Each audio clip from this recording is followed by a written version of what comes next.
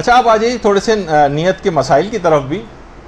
देखिए, पहली बात तो ये है कि इस पर लोग बहुत परेशान होते हैं, क्या ज़बान से या दिल से भी नमाज़ की नियत करना वाजिब है?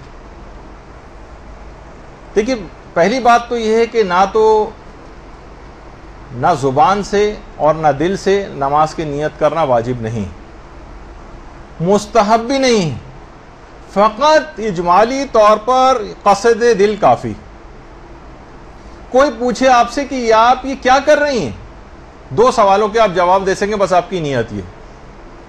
आप ये क्या कर रही हैं और आप क्यों कर रही हैं? अगर कोई पूछे आप ये क्या कर रही हैं तो आप हैरान परेशान हो जा रही ये मैं क्या कर रही थी? तो आपकी नमाज़ इसका मतलब नमाज़ की नीयत नहीं थी, बातिल है नमाज़। लेकिन ये अगर कोई आपसे पूछे आप ये क्या कर रही आप कहें, भाई मैं नमाज़ पढ़ रही हूँ, कौन, क्यों पढ़ रही है नमाज़? का कुर्बत नहीं, अल्लाह पढ़ रही हूँ, अल्लाह का हुक्म है, बस यही नीयत हत्या के सवाल है, क्या नमाज़ का कम से, नमाज़ की नीयत का कम से कम दिल से गुजारना ज़रूरी है कि हम दिल में कम से कम ख्याल गुजार दें इसका? कि मैं दो रकात नमाज़ पढ़ती हूँ, फजर की वाजिब कुर्बतन उलमा फरमाते, नहीं, नमाज़ का दिल नमाज़ की नीयत का दिल से गुजारना भी ज़रूरी नहीं।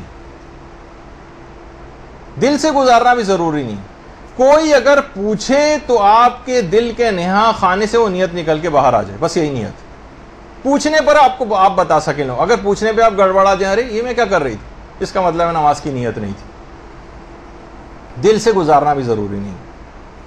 अच्छा बहुत सारे लोग आ, हम देखते हैं कि नमाज़ जमात में ख़ास तौर पर नियत करने में लोग इतनी देर लगाते हैं इतनी देर लगाते हैं कि पेशिमाम अलहम का सूरा भी तकरीबन ख़त्म कर रहा होता है और वो अभी तक खड़े हुए ये कह रहे होते जबान से नियत करता हूँ दो रकत दो रकत या चार रकत वाजिब कुर्बत। इतनी देर में कि यहाँ तक के बिल्कुल ख़त अख्ताम के करीब हो जाती है उनकी नमाज़। यानी सूर अलहम ख़त्म होने वाली होती। तो ऐसा ना किया जाए। और देखिए, क्या अब यहाँ आपने इतना सुना कि क्या अल्फाज की कभी कोई अहमियत नहीं होती? ये बात याद रख लें, बहुत सारी चीज़ें ऐसी हैं जिसमें अल्फाज की अहमियत है। जैसे, निकाह है। आप ये नहीं कह सकती कि जब मियाँ बीवी राज़ी तो क्या करेगा काजी? और वो दोनों अगर राज़ी हैं तो साथ रहना शुरू कर दें। नहीं। मियाँ बीवी के राज़ी होने से कुछ नहीं होता जब तक काजी साहब जो हैं वो सीगे ना पढ़ दिए जाएँ। यानी उसमें अल्फाज की अहमियत। कितने ही साल, बीस साल, अक्सर लोग सवाल पूछते हैं कि तीस साल से शोहर और बीवी आपस में साथ नहीं रहते, दूर तो क्या तलाक वाक़ हो गई नहीं, तलाक वाक़ जब तक तलाक के अल्फाज और सीगे नहीं पढ़े जाएँगे, तलाक वाक़ नहीं होगी। नज़र, कसम और अहद। जब तक इसका एक सीगा शरा नहीं पढ़ा जाएगा, इसमें अल्फाज की अहमियत, फ़कत नीयत काफ़ी नहीं। तो बहुत सी जगहों पे अल्फाज की अहमियत है। लेकिन नमाज़ की नीयत ना सिर्फ़ ये कि ज़ुबान से करना ना वाजिब है, ना मुस्तहब है। हाँ अलबत्ता, बल्कि एक चीज़ और भी हो सकती है कि अगर एक नमाज़ ऐसी जिसकी नीयत आपने ज़ुबान से कर ली तो नमाज़ बातिल हो जाती। वो कौन सी है? नमाज़ एहतियात। जिसका आज वक्त नहीं है बताने का। यानी जिस वक्त आपको शक्यात रकात होती हैं और नमाज़ एहतियात पढ़ना होती है तो उसकी नीयत अगर आपने ज़ुबान से कर ली तो आपकी असल नमाज़ बातिल हो जाएगी। जिसके साथ ये नमाज़ एहतियात जाकर मिलती है, लेकिन इसको छोड़िए भी इसका वक्त नहीं। अलबत् कुछ जगह ऐसी हैं जहाँ नीयत को ज़ुबान पर लाना मुस्तहब भी होता है। जैसे हज व उम्र के अहराम की नीयत करना। ज़बान पे लाना मुस्तहब है। बेहतर है कि ज़ुबान से इसकी नीयत की जाए। या बहुत सारे अफराद अपने मरहूमिन का नाम जो लेते हैं। तो ख़ास तौर पर हमारे उस्ताद मोहतरम में बात बयान करते थे कि ठीक है, आप तमाम मोमिन, मोमिनत भी कह सकती हैं सूर्य फातिहा में। लेकिन अपने वालिद और वालदा मरहुमा का नाम लेना ये बेहतर और ये इस्लाम इसको कहता है कि इसमें उनका नाम लिया जाए। शायद एक ये भी हो कि ताकि इस तरह से उनके नाम भी याद रहें। तो बहरहाल ये अपने वालदेन के सिलसिले में खसूसियत के साथ है कि ज़ुबान पर उनका नाम लिया जाए। और इसको बेहतर समझा गया है। तो अच्छा ना इसमें आपको ये कहने की ज़रूरत होती कि मैं आदा या कज़ा, यानी ज़ुबान से कहने की इसमें कोई ज़रूरत नहीं होती। बस कसद क़ुरबत भी वो काफ़ी होती। जैसे नमाज़ों की नीयत, एक नमाज़ से ऐसी जिसकी नीयतों में आवाम इतनी ज़्यादा कन्फ्यूज़ हैं और इतने उलमा से हमने सवाल पूछते देखे हैं, जो कभी लोगों का ये मसला हल होता ही नहीं, वो है नमाज़ जुमा की नीयत क्या होगी जिसका आज भी मौका नहीं है। अच्छा बहुत से लोग अलबत् हाँ एक नमाज़, एक ऐसा है कि जब आदा और कज़ा दोनों नियत नहीं की जाती, जिसको शुरुक शम्स कहा जाता है, यानी जिस वक्त आपने देखती हैं कि अक्सर आप ऐसे मौके पर फजर में बेदार होती हैं कि आपको लगता है कि बस अभी, बस ये किसी भी वक्त सूरज निकल आएगा। और आपको पता नहीं होता कि मेरी नमाज़ अदा में आ रही है कज़ा में आ रही है, उस वक्त बगैर अदा और कज़ा की नीयत के नमाज़ को पढ़ा जाता है। तो सिर्फ़ वो एक ऐसे, वरना आमतौर पर कुर्बतन अल्लाह की नीयत वो कर ली जाए।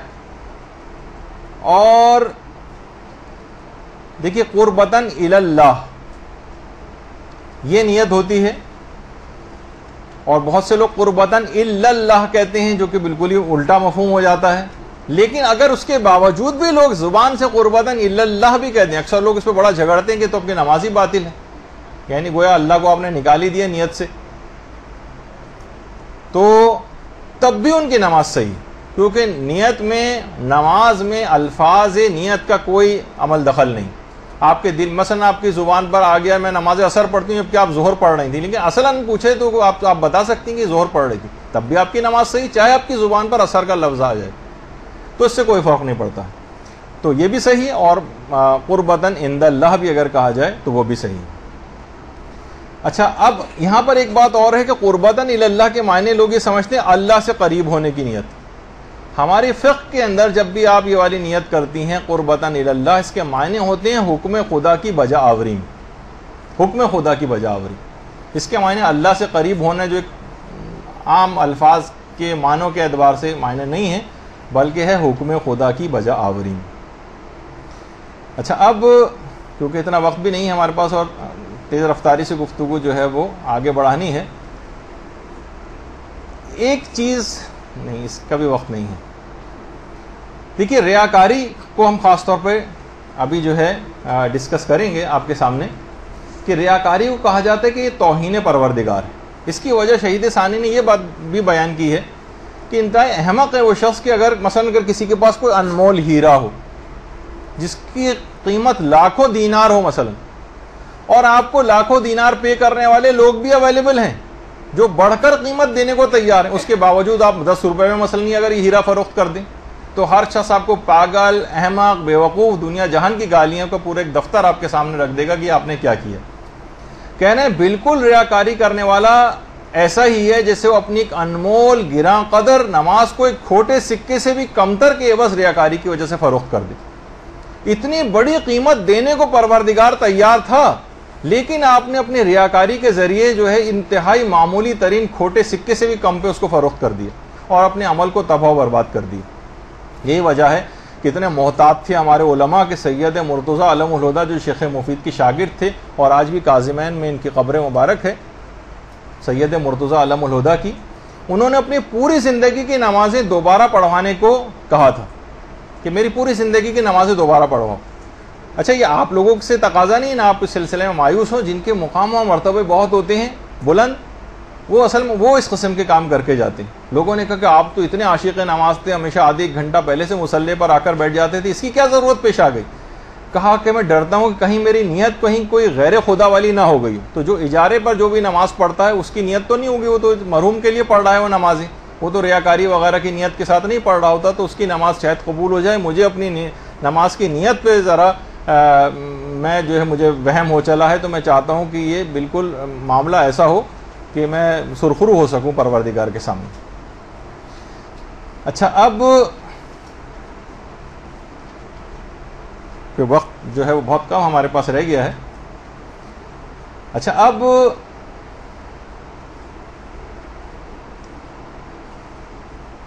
देखिए, लोगों की अहमियत आपकी निगाह में नहीं होनी चाहिए। बार बार हम इस चीज़ को ज़िक्र कर रहे हैं। और यहाँ तक रिवायत में कहा गया कि इतनी कम अहमियत हो, ख़ासतौर पर जिस वक्त आप नमाज़ पढ़नी हो, लोगों की अहमियत इतनी कम हो कि जैसे किसी जानवर की मेंगनियाँ हुआ करती ये बाकायदा रिवायतों का लफ्ज़ जुमला है जैसे किसी जानवर की मेंगनी। यानी इतनी कम अहमियत आप कहाँ किसी उसको नफ़रत से, आप कराहियत से मुँह को फेर लेती हैं उसको देख कर तो चे जाएगा कि उसको अहमियत देना। यही वजह है कि जो शेख अब्बास कौमी थे, जिनकी मफातिहुल जिनान।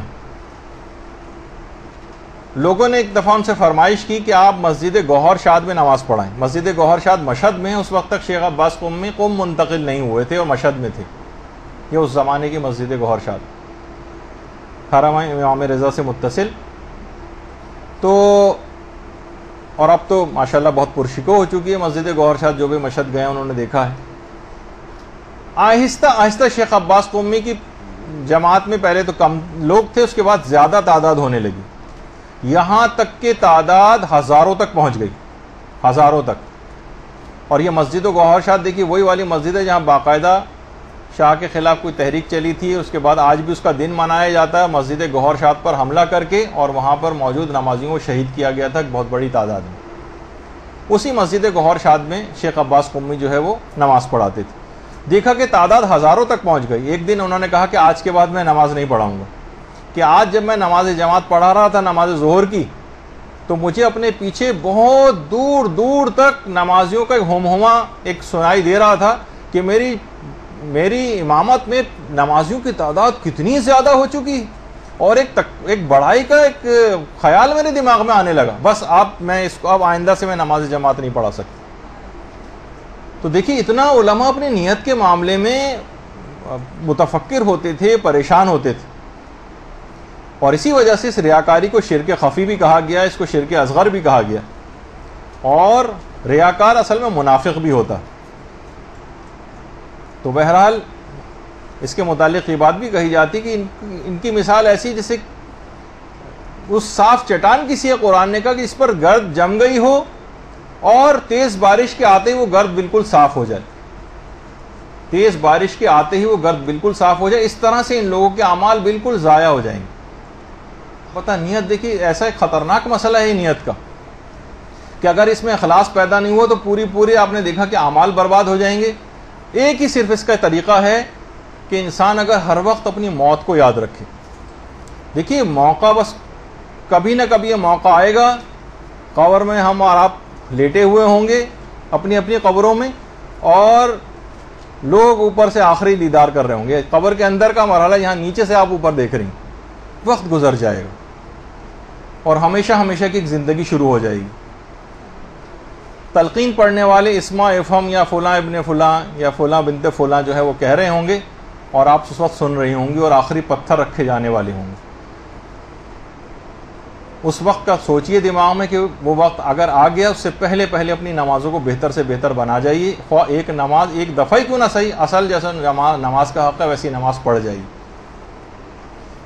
मौत को याद रखना इतनी अहम चीज़ है कि मौत को याद रखने से मौत जल्दी नहीं आती बदशगुनी नहीं है बल्कि मौत डिले होती ताखिर में देर से आती टल जाती है मौत को याद करने से। एक दफ जी? कम से कम एक दफ़ा, ये तो मैं आपको तशवीक़ के लिए कह रहा हूँ, उसमें हमेशा कम से कम की तरफ़ क्यों तवज्जो तरक्की आगे की तरफ़ भी होना चाहिए, लेकिन कम से कम एक दफ़ा तो एक ऐसी नमाज़ पढ़ जाएँ कि रूहानियत का कोई दर्जा तो कम से कम, एक दफ़ा तो महराज नमाज़ हासिल कर ले। और इस लिहाज से बस तफसील, अब इसकी मैं बाद में बताऊँगा, अब इस बात को गुफ्तु और मुकम्मल कर ली जाए कि ये इतनी अहम बात है कि मरने से पहले पहले, ये इंसान अगर हर वक्त याद रखे तो बहुत, उसके गुनाह भी उसकी ज़िंदगी से कम हो जाते हैं। और भी कुछ ही अरसे पहले मैं अपने एक अज़ीज़ की कुछ अपने पर्सनल एक्सपीरियंस भी कभी बता देता हूँ। तदफीन में मैं कब्रस्तान गया तो वहाँ कब्र पे मुझे बाकायदा अपना नाम लिखा हुआ नज़र आया। अलबत् वालिद का नाम, क्योंकि किसी और महरूम की कब्र थी। तो बहुत मैंने उसकी तस्वीर भी खींची, बाद में इसको एडिट करवा के अपने वालिद का नाम भी इसके ऊपर लिखवाया और अपने कंप्यूटर के डेस्कटॉप पे भी लगाया। ये अलग बात है, घर वाले रहने नहीं देते, हमेशा उसको डिलीट कर देते हैं। लेकिन बहरहाल सिर्फ़ एक दिमाग में रखने के लिए इसमें कोई बदशगुनी की बात नहीं। इससे इससे मौत में और ताखिर होती है लेकिन इससे बहुत मदद मिलती है कि इंसान गुनाहों से बचा रहता है। हर वक्त अपनी आखरत और अपनी कब्र को याद रखे।